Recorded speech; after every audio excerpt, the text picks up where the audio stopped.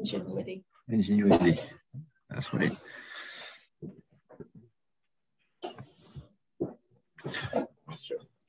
Good afternoon, everybody. Uh, we're going to give a few minutes for the attendees to all join, and then we'll get started at about three after.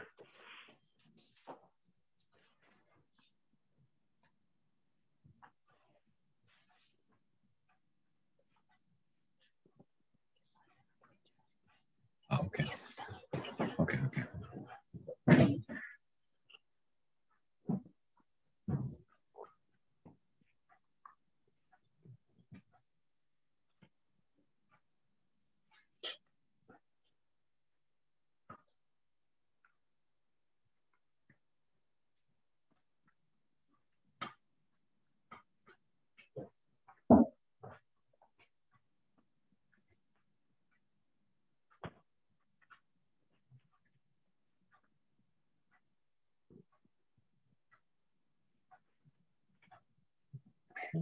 Uh, well, good afternoon, everybody, and welcome to today's webinar titled The Human Aspect of Cybersecurity, Cautionary Tale to Mitigate Risk, Social Engineering.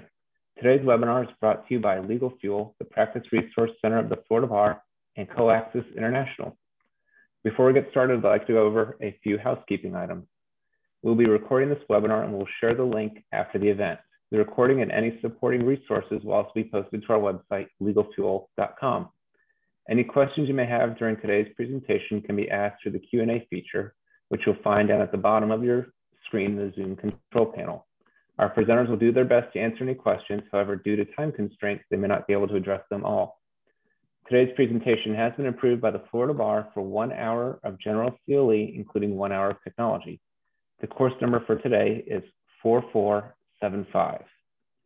I would now like to introduce today's presenter, Mr. Christophe Briglat, President and CEO of Coaxis International. Christoph is a nationally recognized expert in the fields of managed data hosting and cybersecurity and is the technical mind that built Coaxis's data center located in Tallahassee, Florida.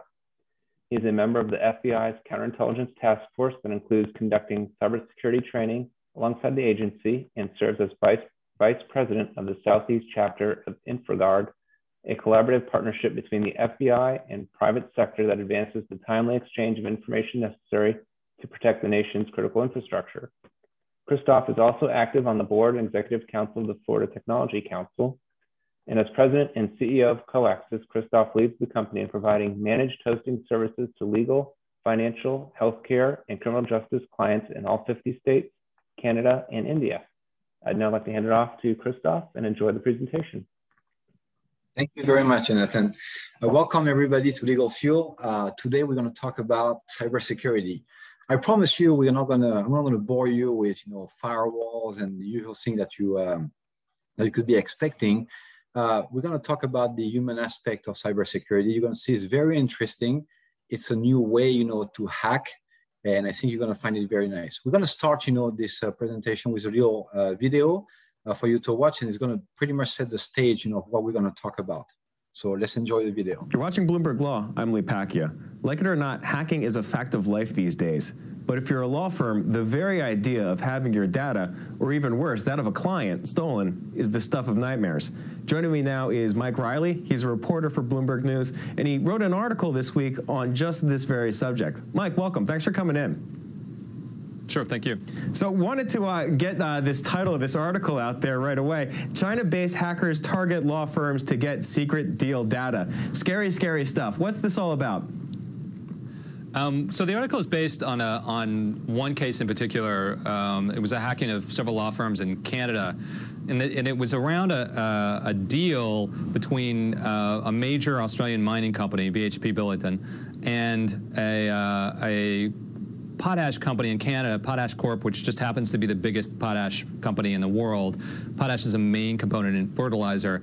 Um, it turns out the Chinese were really interested in in, uh, in breaking up this deal, and we know that because they hired a couple of major investment banks to help them do this, and that became public. It was written up in both the Financial Times and the New York Times. The same month that, that they hired these two investment banks to break up this deal, uh, the law firms handling the deal uh, for BHP and for Potash Corp were hacked. Um, it turns out that after doing some analysis on the attack, uh, that all fingers point back to China. um, both in terms of the malware that was used and uh, and the, the, the servers.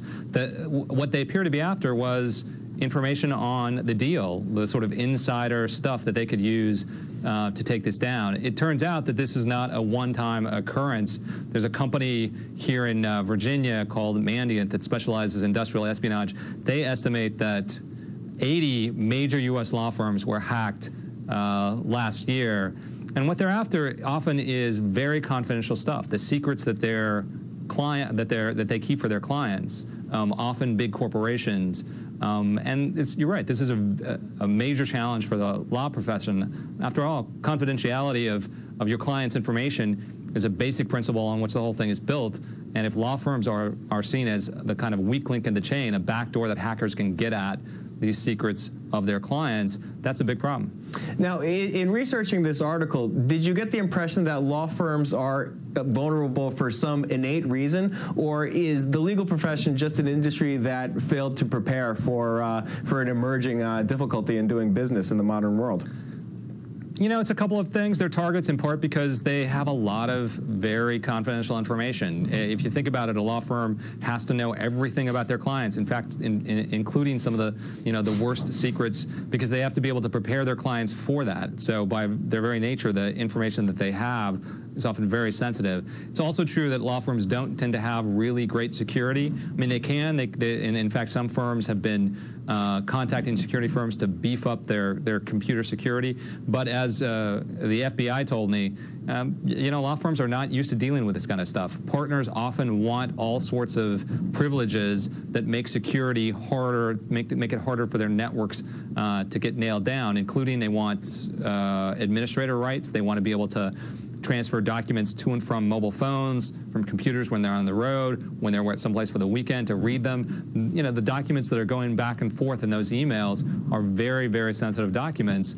Um, and if, you know, if the partner doesn't want to deal with really long passwords or heavy security uh, burdens, that's a problem. This sounds uh, inordinately expensive, taking all the precautions uh, to prevent ag against having uh, hackers uh, access into uh, law firms' data. any sense that they are that these precautions are going to meaningfully impact bottom line for law firms? So if law, law, firms really wanted to make their uh, their networks bulletproof, it would get very expensive very quickly. Um, we called a lot of law firms, try to get them to talk to us about this. It's a very sensitive subject. Nobody really wanted to mention it, um, but it is true that uh, having you know state-of-the-art security uh, is a costly proposition. But it's also a question that they have to weigh against the, the, the cost of not doing it potential liability they could incur, for example, from losing very uh, confidential information that belongs to clients that may affect litigation is potentially huge. Any sense that these firms have a handle on the uh, potential liability uh, stemming from these issues? Are, are, you finding that they're thinking about this for the very first time, uh, say this month, or is this something that they've seen coming? You know, I think they're beginning to think about it more and more. I mean, some firms are much more savvy about this than others. Uh, big international firms um, that deal with uh, intellectual property rights, all sorts of things, I think are having to think about this. The question is how quickly they're moving uh, and what they're doing about it. And I don't get the sense that they're moving particularly quickly. Neither did the FBI. They held a meeting last uh, November with the top 200 firms in New York City, basically to tell them, look, you guys are a target. You need to start thinking about your security. Um, eh, this, and they were doing that because they just didn't think the law firms were thinking about it. Oh, this is tough stuff, and it's certainly hitting the legal profession at a time where they have a lot of uh, other concerns to be worried about. Mike, I want to thank you so much for your time today. This was uh, really interesting. You're very welcome. That's Mike Riley. He's a reporter here at Bloomberg News. If you'd like to learn more about the cases and issues we just discussed, be sure to check out our offerings on BloombergLaw.com and also Bloomberg.com. I'm Lee Pacchia. Thanks for watching. So there, there you have it. It's a pretty interesting video. Uh, and you have to remember, um, I'll do multiple reminders during the, the session here, but you know, uh, attorney and law firms, you know, they, they build their business on, you know, client privilege, you know, confidentiality. So it is going to be very important we talk about. Here's what they said though, um, cybersecurity, you know, and hacking. So here's this uh, person here, Kevin Mitnick, is a world hacker very, very known, and he's not working for the FBI because he got caught. Uh, but here's what he says companies spend millions of dollars on firewall, encryption, and secure access device. Is money wasted. None of these measures address the weakest link, the security chain, in the security chain. So what does that mean?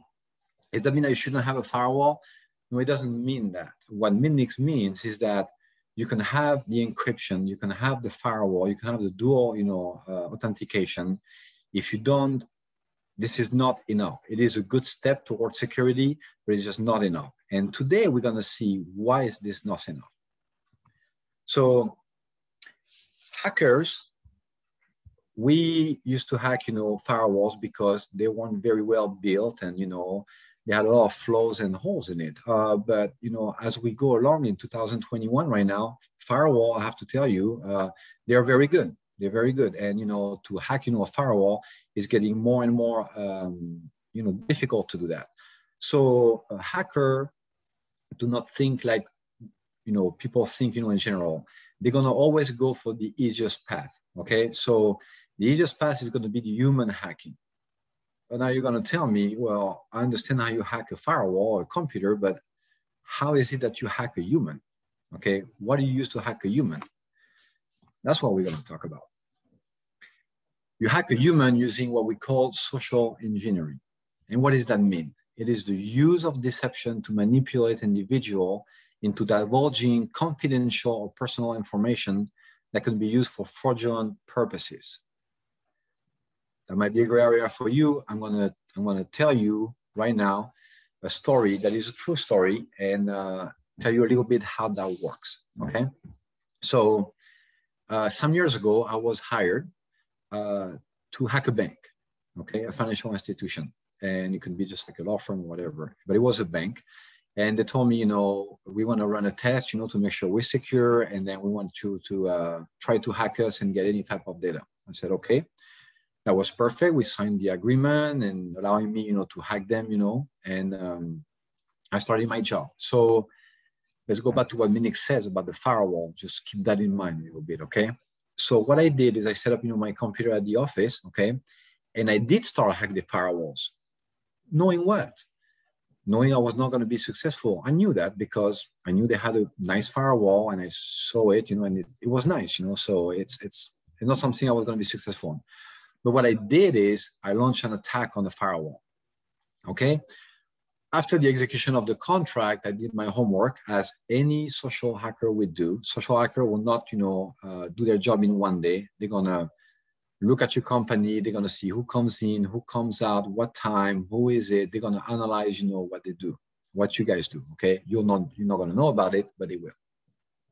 So for that bank, I did the same thing, and I pretty much selected a branch that I was very small, and I know the bank did not pay too much attention to it because it didn't drive a lot of business. So now just imagine, you know, I set up, you know, my computer and I just start attacking, you know, the firewall. Their firewalls go, of course, you know, red and it just showed me, you know, attacking it and trying to penetrate, you know, the firewall and the environment. And of course, you know, the firewall does its job. It's stopping me and stopping me. But I'm leaving my computer at the office doing what it does, okay? And just keep, you know, the chief security officer at the bank preoccupied, looking at the firewall and saying, up, oh, he's coming in, I see him, and we're blocking him, and that's perfect.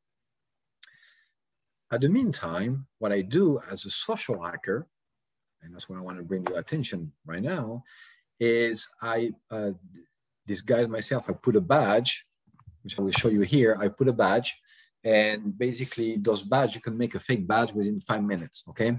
So I put a badge and at the time I was a, uh, a um, the internet, you know, uh, provider, you know, uh, worker. So I said, and so I come up, you know, to the branch, which I know was very small and it was in broad daylight. So forget the alarm system, forget everything, broad daylight, and got it to the bank and, you know, introduce myself, you know, with my badge okay, that as you can see is real. This is my name, this is my pictures. It's a real badge for, so I don't know, I do work for Centel or, well, maybe the Orlando Power. Okay, so um, I get into the, the bank and I tell them, I say, well, you know, I was sent, you know, by your CSO and, uh, you know, I just, I know you have some internet problem at the time, of course, everybody at everybody says, you know, the internet is a little slow. So nobody's ever happy about the internet speed anyway.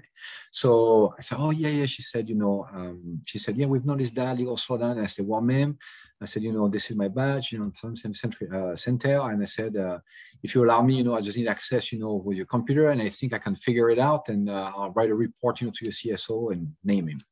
He's like, okay, no problem, no problem. So very cordial, both of us. And she sit me down, and I was very, very nice with her. And she said, well, would you like some water or a cup of coffee? I said, yeah, water will be perfect. Thank you.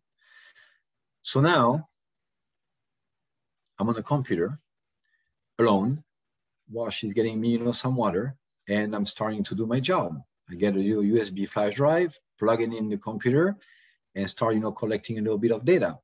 My intention was not to collect a huge amount of data. It was just a simple to show them that I had access to their environment.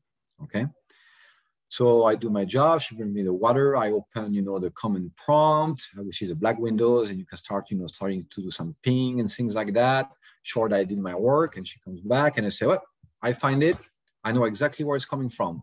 I see, you know, where it's slow here, and so that's perfect." She's like, "Oh, great, great, great." I said, "Yeah." So I said, "Listen, give me about 72 hours, and I'm going to write my report, and then you should see another technician, and we'll, we'll, we'll fix you up, okay?" And she's like, well, thank you very much. We appreciate your help and you coming here, and that's perfect. So off I go with my bottle of water, my flash drive, and off the bank. At that time, remember, uh, no alarm system, no nothing. I didn't touch the firewall. I didn't touch, you know, the encryption. I didn't touch anything. I bypassed all this, all of it, using a technique that we call social engineering.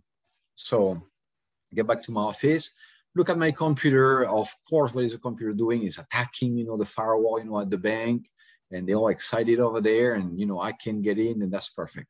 Well, great. The next day, I uh, I'm being called. Two days after, I'm being called, you know, for a meeting to present, you know, my report. And so I have, you know, as you know, in the bank, you know, the president, vice president, you know, chief security officer, all of those people, you know, around the table.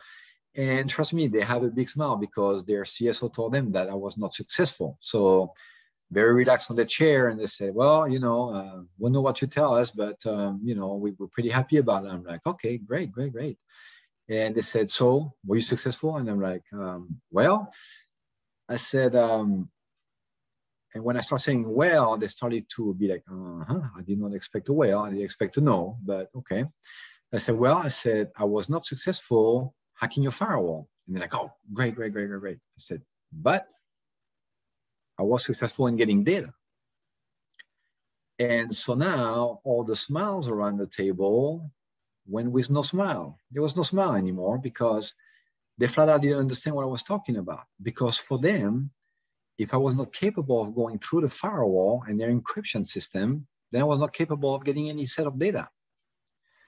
So I started telling them, I said, you know, so firewall was okay. So that's a good point for you. But I said, I was able to get some data and they were very dubious and says, um, we don't think so, but how, how will you prove that? And so I took my flash drive and handed out to the CSO and says, put in your laptop and tell me if you recognize, you know, some of your um, data here. And so he did. And he plugged it in and he looked at it and says, oh boy, this is our data here. I'm like, it is. And so now they're not smiling at all. They're like, okay, um, how did you get this? How did you get this? And I said, well, I just walked in bought the light in one of your branch and I just has to sit down in front of a computer and get some data. And now they get very nervous. They're like, okay, this is this is you you're kidding. I'm like, no, how do you think I got this data? And so I give them the name of the person. I said, when I give you this name, I said, I don't want you to, you know, fire her or nothing because she's not at fault. She's just not being trained. So there is no way for her to know, you know, this kind of hacking, you know, mechanism. she's like, okay, that's fine. And so they call her uh, in my presence and says, uh, "Did you see a technician coming, you know, a couple of days ago and ask you to do this?" And she's like, "Yeah, yeah, very nice guy." And I did this, and he said he was going to give a report, you know, because our internet is slow. And so now they're like, "Unbelievable!" And I said, "Well, that's what it is, uh, you know." So they they got hacked but not in a conventional way. And I hope you get that. This is what we're going to talk about today. And that's what makes this session very interesting because this is not your common way, you know, to be hacked. So what did I use, you know, to, to do my job here? I use a method, and in social engineering, we have a lot of method, you know, to do that. And we're going to see in the next slide, you know, in the video, you'll see it's very interesting video. Many, many methods, you know, to uh, to social hack someone. So the one I used, you know, for the bank was called pretexting. And what is it? Is the practice of presenting oneself as someone else in order to obtain, you know, private information. Okay. I'm sure you've seen some movie like The Saint and stuff like that, and you know, in, in all those, you know, um, you know, kind of movie, you know, they do things like that, you know, they do use pretexting, you know, it is very easy. It's a simple way, you know, to do it. I can pretext myself to be a UPS driver. I can pretext myself to be anything. And I want you to think about that. I know some people say, well, but if you do that, we can always go and check. Well, when you have a company like CenturyLink or UPS or whatever, and you come with a badge and an ID that match your badge, how long would you think it would take you to get to the HR department and verify my identity and if I really work here? Days. And if I'm here to help you, well, you're certainly not going to jeopardize, you know, my help, you know, uh, just to verify a badge. I mean, show you my ID, I'm showing you my badge. Should be good enough, right? So, and it should be at the most time. So I'm gonna show you a video, okay, uh, on the next slide. It's a very interesting video It's going to explain you different method of social engineering, and then we're to go in detail after that. So please enjoy the video, and then uh, we're to talk right after this. Hackers are everywhere. From Ashley Madison to JP Morgan, from Jennifer Lawrence to the federal government, our biggest celebrities, corporations, and institutions have all been the targets of devastating cyber attacks. I wanted to see how bad a hack can get. So I invited a few of the world's best hackers to try to hack me and show me where my vulnerabilities are. And now I'm going to meet them in Las Vegas at DEF CON, the biggest hacker convention of the year, and see what they found. This might not have been the best idea. DEF CON is the biggest hacker convention of the year. It's a place where thousands of hackers come to hear talks to demonstrate their newest hacks. It's actually a place that's so dangerous to, to be on the internet that they tell you to turn off the Wi-Fi and the Bluetooth on your phone, and they tell you not to use the ATMs too, because those could be hacked as well. This is the DEF CON ballroom. This is sort of the main room where things are happening, and it's pretty wild. I think this is Car Hacking Village. This car is locked. Can you get me in? I'll unlock it for you. Should be good. hacking is no longer like this fringe activity. And if you are at DEF CON, there's a good chance that you're here because you want to learn what could happen to you or your company. Anyone here first time in the SECTF? Holy crap.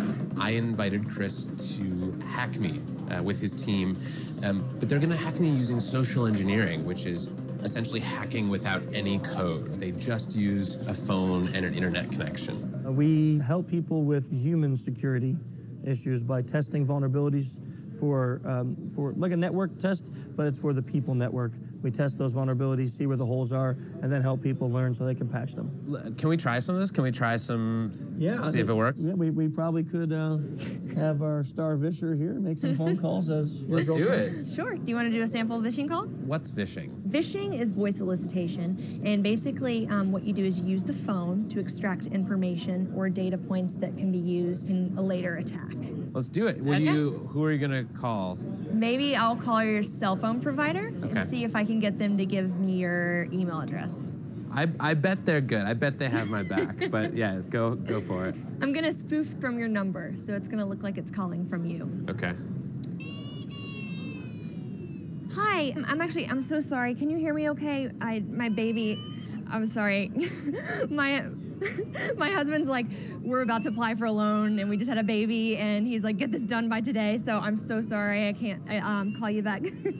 I'm trying to log into our account for uses information and I can't remember what email address we used to log the account. The baby's crying and um, can, can you help me? Awesome.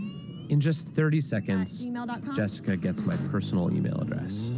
Um, now, if I needed to um, add our older daughter on our account so she could call in and make changes, how would I need to go about doing that? You would have to send me a secure PIN through a text message? Yeah, well, the thing is, I don't think I'll be able to receive a text message if I'm on the phone. Shh, shh, shh. Oh, I'm not on there either? I... So I thought when we got married, um, he added me to the account. Okay, my Jessica name uses my girlfriend's name and a fake social security number 5127. to set up her own personal access to my account. Wait, I'm sorry. So there's no password on my account right now? Can I set that up? She even gets the support person to change my password. Thank you so much for your help today. So she just basically blocked me out of my own account. I'll get her fed after this. All right. Thank you. Holy shit. So they they just gave they just gave you access to my entire cell phone account. You're going to have to go on and change your password now because it's Jess, my name. And all it took was a crying baby and a phone call. Yes. I really thought that my cell phone company would protect me. I mean, like, this is the most basic stuff, and and they're not doing it. And if they're not doing it, you know all these other businesses aren't doing it either.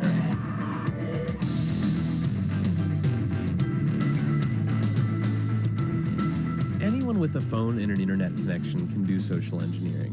But I was curious, what can a hacker with serious coding skills do? Well, DEF CON is the world's biggest hacking convention. It's hacking everything, hacking uh, social, hacking hardware, hacking software, hacking various systems. I asked Dan Tentler, a well known security researcher, to turn all of his firepower on me. I did get into quite a number of things that I found.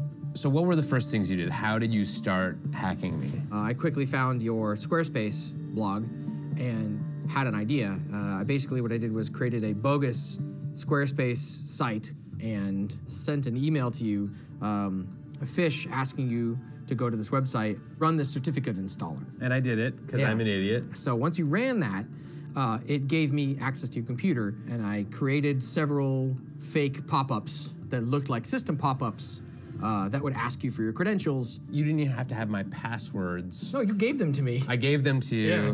So I, I stole your one password keychain.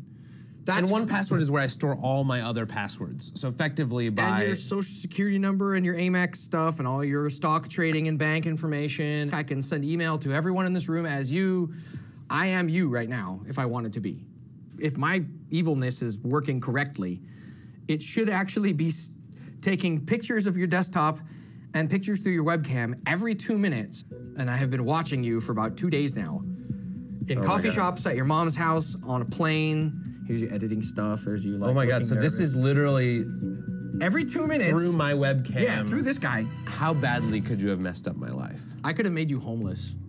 I could have made you homeless and penniless. How? How how would you make me homeless? like I have control of your your digital life in its entirety. I have all your credentials. I have all your access to all your financial information, all your work information, all your personal information. I can pay people with your bank account or your Amex account. I am you. I can fully impersonate. Like the only thing I couldn't doctor would be like your fingerprints. This is like as bad as it gets. It's ridiculous. Yeah, it's bad.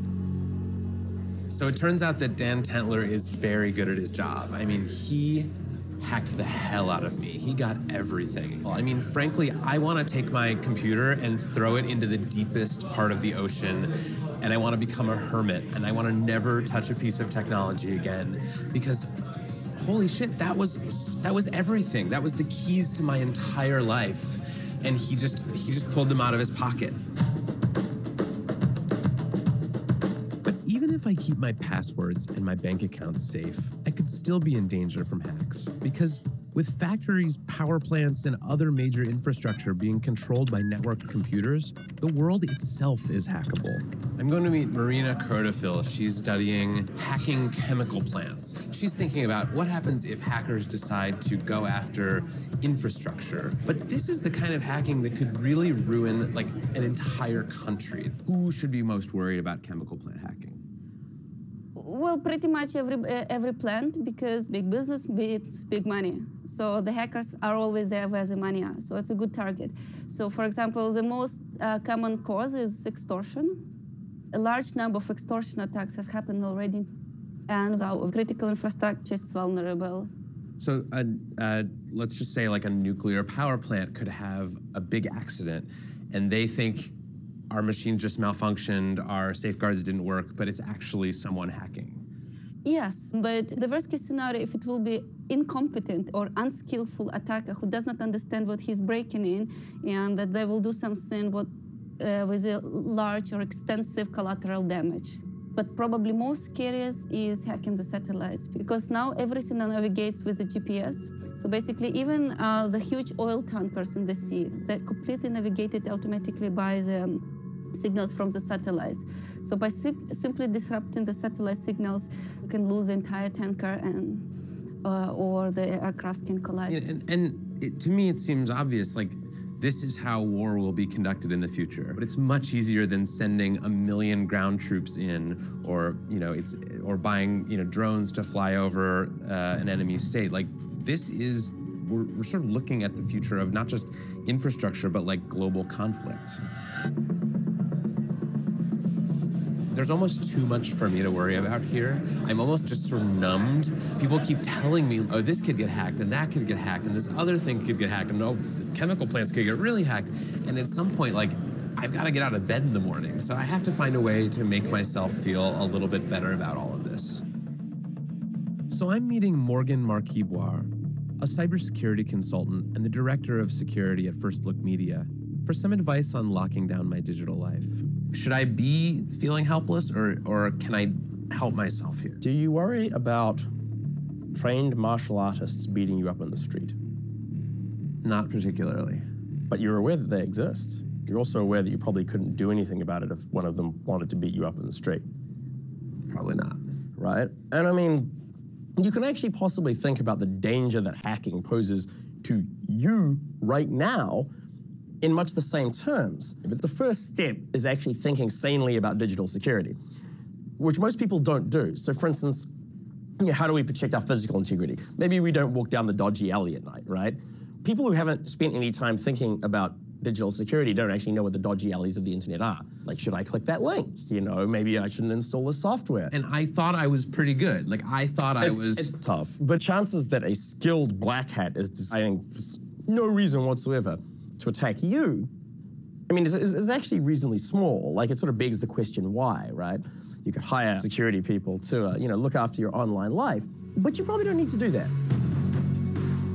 We used to think of hackers as being sort of fringe characters, but now when so much of our lives are lived on these connected devices, they're power brokers. They can make or break us log into our account. They stole your 1Password keychain. I mean, they know more about this stuff than anyone, and that's a power that is going to become increasingly valuable. We need to know where our flaws are so that we can be safer. And I think the best thing to do is to enable them to help us rather than shoo them away. Do you guys have any of those little things that you put over the, the camera on your laptop? Paradoxically, I feel more secure now than I did last week because now at least I know what I have to fix. Well, I hope you enjoyed this video. I hope it didn't scare you too much, but you know, uh, several things I want to reiterate about this video. Uh, the presenter feels better now because he knows, and that's my intention today is to train you a little bit so at least you know, okay? Uh, also is to talk about, you know, social engineering. You see at that lady, you know, act, you know, with the baby. It takes nothing. There is no firewall. There is nothing involved in that. And I want to address myself to attorneys and also paralegal because I know paralegal are extremely busy. And just so you know, you know, an attacker like this, social engineer, always going to attack, you know, the weakest link, like I told you, you know, before. So when I know that, you know, paralegal are very busy and things like that, those are going to be my target because I know you focus on your job, because I know you know you're doing this and you're very busy and you have an attorney going to court and you have to produce documents, paper and everything. And I know you maybe you don't have time, you know, to see, you know, everything. Uh, so you will be my weakest link here.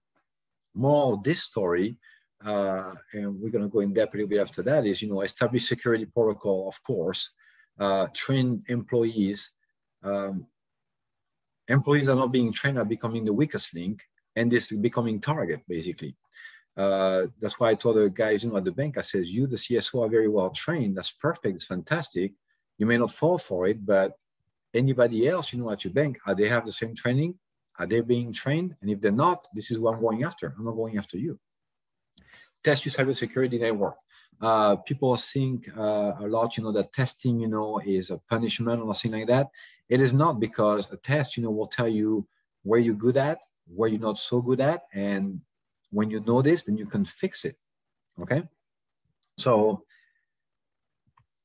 let's talk about spear phishing. And I want to, you know, spend a little time on this because this is the easiest way to get into a company by bypassing security system, firewall, dual encryption, dual authentication, everything. Okay. And you know that, you know, we deal with email all the time. So what is spear phishing? It's a fraudulent practice of sending email, okay? And we know everybody is using email, especially in law firm, okay, from a known or trusted sender in order to induce targeted uh, individual to reveal confidential information. If you remember, I see the third person who hacked, you know, the presenter, you know, with uh, seeing his picture and everything. That's how he did it. Okay, creating an account, send an email. He opened the email, and then you know he got into his computer, and his life was over after that. So let's see some example. I talk a lot with you know uh, financial institution, and uh, we're in tax season right now, so this is a good example actually. Uh, email from the Internal Revenue Service. Uh, when those email, when those phishing email you receive, they're not just dumb email. They are very well formatted. They're formatted for a certain reason. And like for this one, uh, is to gain trust out of you. Okay, a social hacker is always going to try to gain you trust. That's what I did with the bank. That's what the lady did when they called. You know, trying to gain the trust. Um, the Internal Revenue Service, you like them, you don't like them, whatever it is, but you know they're not people who are going to come and hack you, right? Uh, and when they send you something, you pretty much have to look into it. Okay, so this one, uh, as you can see, you know your client will notice some of your uh, information appears to be missing or incorrect. Guess what? This email is not going to go in July or August. It's always going to go during tax season, during when people are busy filing the tax return or something like that, and they will pay attention to it. Okay, now because you're the paralegal, and I'm going to send that to some targeted people, so CPAs during tax season, paralegal when they're very busy and things like that, I'm going to make your life easy. So if you look at this email, Blue Ribbon Internal Revenue Service, so I'm capturing your eyes with the IRS. So now I'm building your trust. I said, okay, they're not here to hack me. There is a problem, but they're not here to hack me. So now I've gained a little bit of your trust. Then you read it, and because you're not busy and I'm a very nice guy, I'm giving you a link, right? And because I'm giving you a link, that link is the danger. Once you click on that link, you're pretty much mine. After that, we're launching, you know, tools, you know, on your computer that the antivirus will not detect. And I can see, just like the guy saw him on the camera every two minutes, I can see anything that you type or anything that you see, okay? How do you detect those? Well, they're pretty easy, but again, they're going to be sent when you don't have time to read. And we have to go into detail here. Look at the third line, IRS to recipient, reply to, do not reply, that's normal. At IRS, that's okay. Dot update, that's okay. Dot com, the dot com is not okay. The IRS will never send you, first of all, this type of email, and second of all, from a dot com address. But because you're busy and because I've got your attention and you trust me, you might oversee that you might not look at this. Okay, let's see another one. Those are big ones. Uh, our CSO here, uh, it can we can not hack, but we can replicate a bank website within you know four or five minutes. So the website is going to look exactly like the bank website. Is going to feel like the bank website. Is going to be exa exactly the same. So same thing here. What do we see in those email? The trust, okay building trust building. So i'm coming from bank of america okay? Now some of you are going to tell me well i don't bank of bank of america. That's fine. I'm a hacker. I don't think like you. I'm going to mass i'm going to mass send it and one of you is going to bank of bank of america. I know that much. Out of 100000 that i send one of you or two of you is going to bank of bank of america and i get my target. I don't need too many target. I need one or two. So this one is being, you know, coming from Bank of America. I'm capturing your eyes to the Bank of America logo and everything, and I tell you what's happening. Okay, so I'm guiding your eyes not to the top, that's where the problem is, to the center of the email. We recently reviewed your account and uh, suspect that your Bank of America account may have been accessed by an authorized third party. Uh-huh. Curiosity killed the cat, right? So basically, just to be sure, just to be reassured, you are going to click on it, okay? Which because I'm a nice guy again, right? So I don't want you to go and open your browser and type those. It's too long, right? And I know you're busy, right? So here's a link. Just click on, you know, bankofamerica.com, you know, slash unlock, and then it's okay, right? I'm going to get you to here. Well, once you click on that link, okay, I can see anything that you type. So I can see user ID and I can see your password. Okay, so what I'm to do is I'm to do it once, okay? And then I'm to do it twice to make sure that you know what you type is the right password. So basically, I'm going to deny, you on the first time you try. And you're to be like, no, no, that's my password. Or maybe, maybe I, I misspelled it, right? Maybe I did a typo. So you're to retype it the second time very carefully, okay? And so now on my screen, every time you type, I can see what you're typing. And now I got your user ID and your password, right? Twice, so it's confirmed. And then at that time, I'm actually going to prompt you to the real Bank of America website, and you know it's going to open. You're going to be like, oh, okay, well, so that's my okay password, login, everything looks fine. I've got my money, I got access to everything. Okay, okay, well, I guess you know the the unlock things you know work, so that's great. You know, it's, it's fantastic. Okay. Well, yeah, it's fantastic. You have access to your bank account, but guess what? So am I. I do have access to your bank account also, and because social hackers are not the hacker that you used to know, you know, 15 years, 20 years ago. You know, those guys, you know, they came and they broke everything. You know, they, they broke your server and they delete all your data and stuff like that. Some of them, they still are here, you know, and they're not that smart, but, you know, they just want to cause, you know, problems. The smart one who actually here to make money, that's the one, you know, you have to be very afraid of. So once I know your credential, now I can go to your bank account, you know, and log in with your login and DS password anytime I want. And you don't know that. You have no idea that I'm doing it. Okay.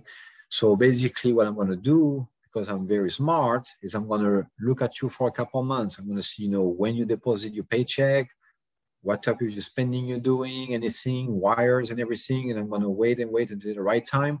And at that time, I'm going to transfer your money out, you know, to one of my bank account overseas or whatever, and you'll never see it again. And here is the problem. When that's going to happen, of course, you're going to go see your bank and be like, what happened? Someone, you know, I mean, I did not do that. And what is the bank going to tell you? Well, you logged in with username and password. So yeah, you did do that. And so now you're going to have to prove that you actually did not do that. Good news is that you know you probably are an attorney today or working for an attorney, so you're probably going to have to use your own service or do something like that because it is going to be very painful, you know, to do this. It's going to be very painful to prove that, you know, you did not do that because I've got your identity just like the other guy. Okay. So protect yourself, protect your business. Okay. Be prepared. Be prepared. That's what we're doing today a little bit. This is not, you know, we have much more to talk about, but that's what we're doing a little bit. Okay. Initiate and validate. This is what we, you know, came up with the FBI. It's our best call of action if you do not initiate a conversation, then don't reply to it from any email from banks or anything like that. If you have not initiated something, ignore it, okay? And then validate before you do anything. So for the bank website and for the IRS website, if you see every time it's a problem with the link, that 10 seconds for you to review that link and make sure it's the right one is going to save you a ton of money and a ton of wasted time that you have to consult with an attorney to get you out of you know this problem okay? Again train your employee and again test your system okay? Train your employee and then hire you know people you know like us and you know train you i mean and test it. Make sure that it works. Make sure your training is actually fruitful and that it actually works. Let's see uh, so this is some just to show you uh, little bit of you know report that we can uh, that we can do here you know? Uh, those are phishing email that you know are being sent out you know to uh, every month. Um, the people never know when uh, the recipient never know whose recipient is going to be. And basically it's it's fake phishing email. So as you see on the right side here it says you know uh, open and clicked okay? So that means that out of this, this is just a simple, you know, fake company, but this one you would have like, you know, one, two, three, four, five, you know, seven or whatever open, and then one, two, three, four clicked. This is way too much. And some people will be like, oh, look, you know, out of, you know, 50, only, you know, two clicked on it. guess how many I need, you know, to get into your company? I need one. I don't need two, I don't need three. If I have two or three, better off with me, but I only need one to do this. So basically the right side here should be at zero and the open side should be at zero. And so training people on a monthly and regular basis is what keeps you sharp, basically. Um, here's another one. Uh, dear captain, as you can see, uh, your mail server is holding, you know, four incoming message because of, you know, blah, blah, blah. And now, uh, again, I'm, I'm giving you a review and verify your account. So always, I'm always a nice guy. I'm going to put, you know, something here to facilitate your life. Okay. It's a link. It's a something like that. It's a block, you know, review and verify your account. And once you click on it, you are pretty much done. This is it. And, and, the, and the bad thing about it is that you don't know that I'm in. It's not invasive, so you would not know that. Okay. Here's another one uh, that everybody knows. Everybody knows this one. Okay. So this one is Dropbox. Uh, Dropbox uh, is being used many, many times by law firm and things like that. So um, look at the top left, if you would, with me a little bit. Uh, you would have, you know, Dropbox. That's fine. And it's no dot reply. So that's good at dropbx.com.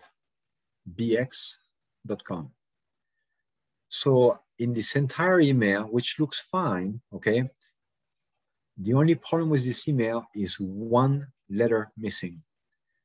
So just imagine when you are paralegal, when you have an attorney, when you guys are busy during the day, I mean, I'm counting that you're not going to see this. And I have a great chance of succeeding because it's just one letter. Okay. I suppose, you know, someone has invited you, uh, invited you to view the folder, upcoming review on Dropbox. So, you know, you, you work with people, so they send you documents. So yeah, I'm to click on it. And again, that's when you made the mistake. You click on it, you may see something, you might not see anything, so whatever. But when you do this, I'm in. Okay, we have different payload to do every, anything that we want to do. We can have payload that read at everything that you type. We have payload that takes, you know, pictures of your computer. We have payload that uh, start, you know, copying data and sending data, you know, to my address, you know, to my one of my phone on the internet. We have payload depending on what I want to do with your company that will that will do it basically. Okay. Um, this is a things that you know, you're probably using this one more like on a personal level, Venmo, okay? So Venmo, for those of you who don't know, I'm pretty sure you do, but it's, it's a little website, you know, that makes you, you know, pay, you know, um, maybe like tutors, you know, or uh, drivers, things like that, you know, you can pay them, you know, on Venmo. Uh, again, if you look at the top left, one little mistake, you know, again, it's just one name. And again, here, someone is paying you, transfer, you know, uh, date and amount. You get paid $20, view.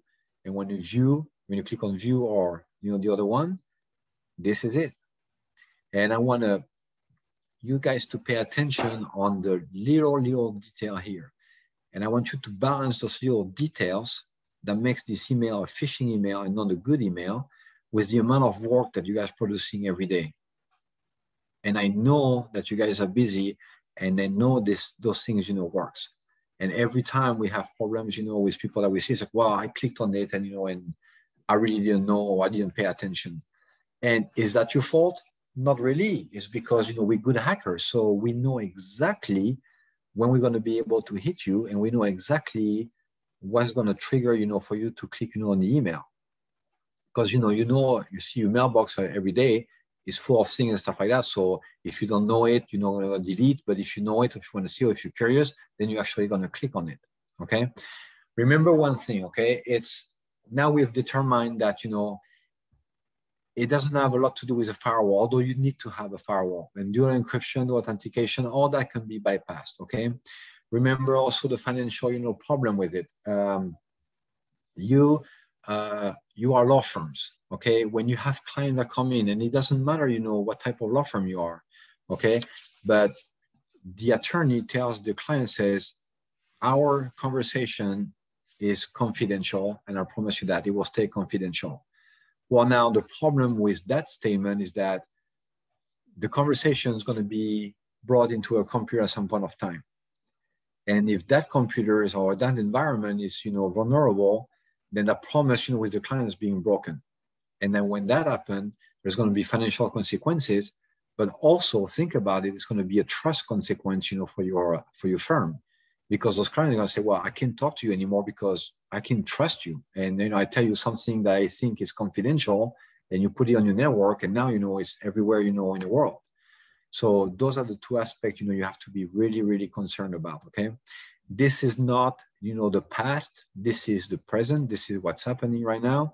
And trust me, it is going to be um, more and more as we go. We've seen about a 682% um, increase during COVID 19, of course, because everybody went remote and remote is great. But if you don't know how to do remote or if it's not managed correctly, think about it one second.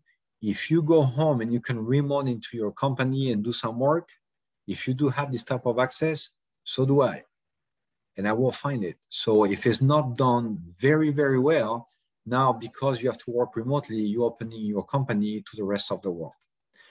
I hope I did not scare you too much today. And uh, we are going now into, uh, if you want some Q&A, so we don't have, we have a little bit time in our left. So please don't hesitate, you know, to uh, send us some Q&A. Any question that you have, any concern that you have, uh, I'm here and I'm waiting uh, for you to, uh, to send that. Thank you very much for your patience and thank you very much for listening. Jonathan? Thank you, Christoph. That was a great presentation. Um, definitely scared. We'll definitely pay more attention to the emails that come into my inbox. Um, at, at, the moment, we don't have any questions in the Q&A. Um, I will remind everybody that you know, this was approved for, by the Florida Bar for one hour of general CLE credit, including one hour of technology. And that course number again is 4475. And again, that's 4475. And if there's no other questions, I guess we'll let Christoph off the hook and everybody get back to their days. Thank you very much, everybody. Thank you, Jonathan. Thank you. have a good day. You too.